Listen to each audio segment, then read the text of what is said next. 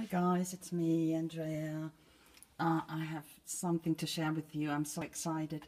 You know, last week I had a shopping spree in the internet, German website, crafting store. I bought some stuff and today it arrived. And um, I ordered this one. This is a huge plate with rubber stems, unmounted and it's on a plate. You have to cut them down. What I've done here as you can see. Sorry for the bumpy ride. I hope it doesn't make you dizzy. So and this it it is such a beautiful collection. It calls punky flowers.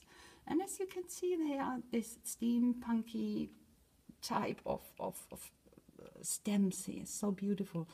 That the company chocolate baroque Baroque, Baroque, whatever, you can read it here. And um, I did some impression on this paper here. And impression is really good. I used uh, Memento ink in Tuxedo Black and it is absolutely perfect. Even this one, this solid one, really good. And then, next thing, sorry.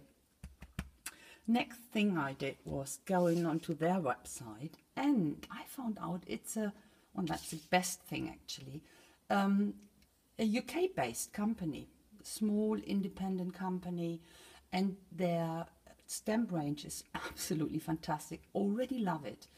And uh, you really have, you need to have a look there you like a bit of steamy, punky stuff and a bit unusual stuff, go and have a look. So, so nice. And um, that's what I wanted to share with you. Nothing else. This is the company's name. It's chocolatebaroque.com. have a look. And uh, you, I think you will enjoy that. Thanks for watching. See you next time. Bye.